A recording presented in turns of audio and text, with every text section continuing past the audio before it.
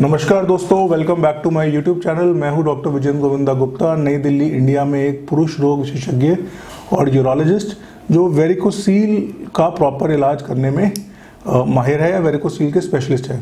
आज हम एक वेरिकोसील के ऊपर एक संपूर्ण ज्ञान या एक पूरा असेंशियल गाइड बनाएँगे। मेरे वेरिकोसील पे पिछले दो साल में काफ़ी सारे वीडियोस हैं, पर हर वीडियो किसी एक पर्टिकुलर टॉपिक पे है, जैसे वेरिकोसील क्या है, कैसे होता है, क्यों होता है, उसका साइज़ कैसे पता चले? वेरिकोसील से क्या नुकसान हो सकते हैं? वेरिकोसील का सही इलाज क्या है? वेरिकोसील की पट्टी ड्रेसिंग केयर कैसे करें? वेरिकोसील में रेकरेंस ना हो, उसका कैसे ध्यान रखें? पर ये सब वीडियो अलग अलग है। कई बार मरीजों को सारे वीडियोस नहीं मिलते हैं, सारे वीडियो नहीं देख पाता है। तो आज के टॉपिक में मैंने सोचा है कि वेरिकोसील के जो भी मेरे पास इन्फॉर्मेशन मैंने अभी तक दी है, इस इन्फॉर्मेशन को एक क्रिस्प पाँच मिनट का लेक्चर बनाया जाए, ताकि आपको पाँच मिनट में वेरिकोसील का संपूर्ण ज्ञान मिल सके। तो चलो, आज वीडियो में स्टार्ट करते हैं।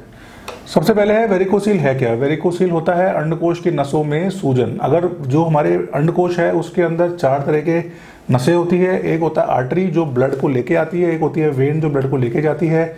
एक होता है वास, जो बेसिकली स्पर्म को कैरी करती है। और एक होता है लिम्फेटिक्स जो बेसिकली पानी या फैट को कैरी करते हैं। अगर जो वेरिकोसील की वेन्स है वेरिकोसील की वेन्स में सूजन आ जाए, उनके वॉल्व खराब हो जाए, उस कारण से उनमें नसों में गुच्छा बन जाए तो उसको वेरिकोसील बोलते हैं।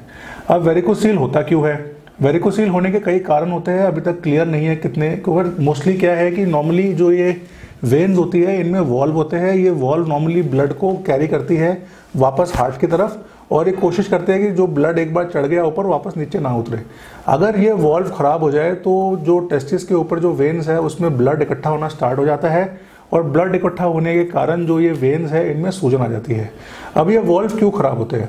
कई कारण हैं। एक हो सकता है कंजनाइटल मतलब बचपने से वॉल्व खराब हो। एक होता है कि जो ये वेन्स है, ये किडनी में जाके जुड़ती है तो हो सकता है कि जो किडनी में इनकी जो जॉइंट है, वो एक्यूट एंगल पे हो, जिस कारण से प्रेशर बढ़ने के कारण ये वॉल्व खराब होते हो। एक कारण है कि रेट्रोपेरिटोनियल मतलब जो हमारी कमर है, जहाँ पर ये वेन ट्रैवल कर रही है, उसमें जो फैट का सपोर्ट होता है, वो एडिक्वेट नहीं होता। इसे देखा गया है कि नॉर्मली वेरिकोसील के मरीज़ जो है, बहुत पतले और बहुत लंबे होते हैं।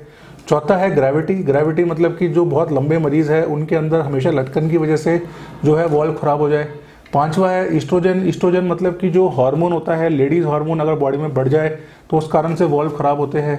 छठा होता है, अगर टेस्टिस को प्रॉपर सपोर्ट ना दिया जाए और बिना सपोर्ट के रनिंग एक्सरसाइज कर रहे हैं, या बार बार बॉडी के अंदर जो पेट में जो प्रेशर है, उसको बढ़ा रहे हैं तो उस प्रेशर से वॉल्व खराब हो सकते हैं।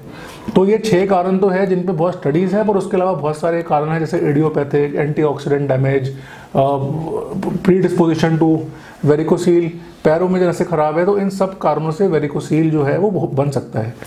अब बना क्यों? उसका ट्रीटमेंट तो नहीं है, पर अगर एक बार वेरिकोसील हो गया तो उसका इलाज कब कब या किस किस स्थिति में करना है? या मोटे मोटे शब्दों में कि वेरिकोसील आपके टेस्टिस में क्या क्या नुकसान पहुँचा सकता है? वेरिकोसील बेसिकली कई तरह से नुकसान पहुंचाता है। नॉर्मली अगर ये वेन्स जो है नॉर्मली टेस्टिस जो है, वो मेटाबॉलिकली एक्टिव ऑर्गन है।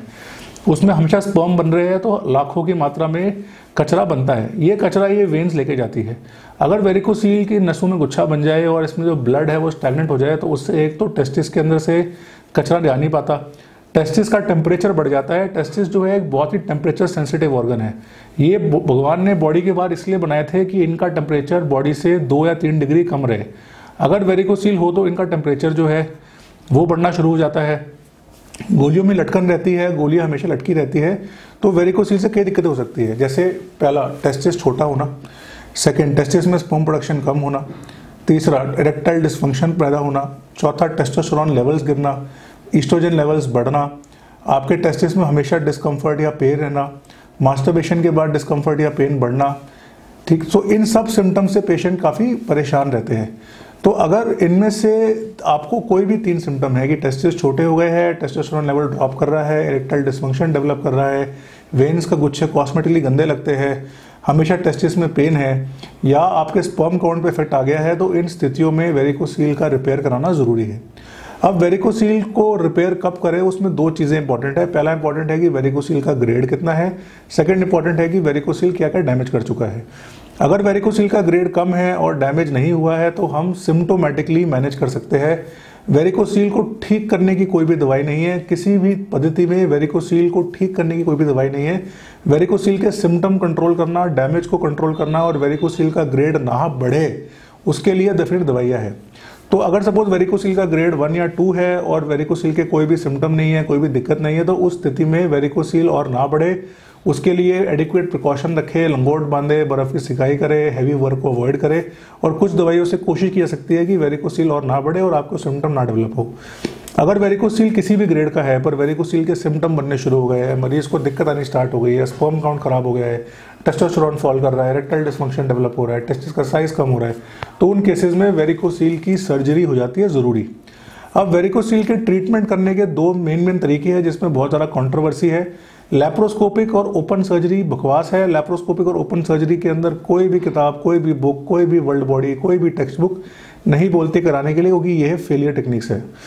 मेन जो कंपटीशन है वो दो टेक्निक्स में है एम्बोलाइजेशन या माइक्रो सर्जरी मेरे बहुत सारे वीडियोस हैं, आप देखेंगे लिंक्स में कि माइक्रो सर्जरी एम्बोलाइजेशन से बेटर क्यों है, पर मोटे मोटे तौर पे माइक्रो सर्जरी एम्बोलाइजेशन से हज़ार गुना बेटर है। इसके कई रीज़न हैं।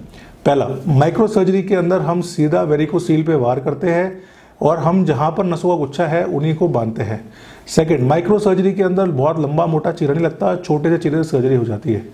तीसरा माइक्रो सर्जरी के अंदर हम जो क्रिमेस्ट्रिक जो कवरिंग है, उसको भी ओपन कर देते हैं। इसको सी डी भी बोलते हैं। तो सी डी का एडवांटेज ये है कि जो क्रिमेस्टर खुल जाने की वजह से वेन सीधी हो जाती है और वेरिकोसिल के रेकरेंस रेट्स कम हो जाते हैं। चौथा माइक्रो सर्जरी में हम आर्टरी को बचा सकते हैं, इस कारण से टेस्टिस को डैमेज नहीं होता। पांचवा, जो माइक्रो सर्जरी है माइक्रो सर्जरी के अंदर हम लिम्फेटिक्स और नर्व्स को बचा लेते हैं, इस कारण से पेशेंट को बाद में हाइड्रोसील या बाद में पेन डेवलप नहीं होता। तो और सबसे इंपॉर्टेंट माइक्रो सर्जरी में रेकरेंस माइक्रो सर्जरी में फेलियर के रेट्स बहुत कम है। जितनी भी स्टडीज़ हुई है, आज तक वर्ल्ड में हमेशा पाया गया है कि माइक्रो सर्जरीज में ही बेस्ट रिज़ल्ट पेशेंट को मिलता है। माइक्रो सर्जरी वर्सेस एम्बुलेशन में एक और है कि एम्बुलेशन में पेशेंट को कंट्रास्ट और रेडिएशन दोनों को एक्सपोजर करना पड़ता है। जिस मरीज़ में ऑलरेडी टेस्टिस डैमेज है, उसके टेस्टिस को रेडिएशन एक्सपोजर से बचाना बहुत ज़रूरी है ताकि उसके स्पर्म काउंट फर्दर इफ़ेक्ट ना हो। तो अगर आपको वेरिकोसील है और आप इन परेशानी गुजर रहे हैं तो मेरे वेरिकोसील के ऊपर कम से कम 10 वीडियोस और है जो डिटेल में डिस्कस करते हैं कि वेरिकोसील क्या है और उसके सारे पैरामीटर्स को उन्हें ज़रूर देखिए। अगर आपको वेरिकोसील का सही इलाज चाहिए तो आप वेरिकोसील की माइक्रो सर्जरी चूज़ कीजिए। मेरे सेंटर पे इंडिया के लोएस्ट रेट्स पे वेरिकोसील माइक्रो सर्जरी होती है। इतने लो रेट पे जर्मन इंस्ट्रूमेंट से माइक्रो सर्जरी पूरे इंडिया में किसी भी और सेंटर पे नहीं होती। वेरिकोसील की हज़ारों सक्सेस स्टोरीज है। ग्रेड फोर से ग्रेड फाइव वेरिकोसील्स हमारे यहाँ ठीक होते हैं। जिन पेशेंट्स के वेरिकोसील के कारण ज़ीरो स्पर्म काउंट थे, उनके स्पर्म काउंट्स आ गए। जिन पेशेंट्स के वेरिकोसील के कारण आईवीएफ फेलियर हो रहे थे, उनके आईवी सक्सेसफुल हो गए।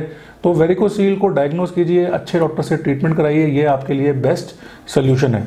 मुझसे कॉन्टैक्ट करने के लिए दिए गए ईमेल पे, नीचे कमेंट सेक्शन में फेसबुक पे कर सकते हैं। वीडियो को ज़रूर लाइक कीजिए, दोस्तों से शेयर कीजिए और भूलिए मत चैनल को ज़रूर सब्सक्राइब कीजिए ताकि आपके लिए मैं बेहतर वीडियोज़ और बेहतर इन्फॉर्मेशन लाता जा सकूँ।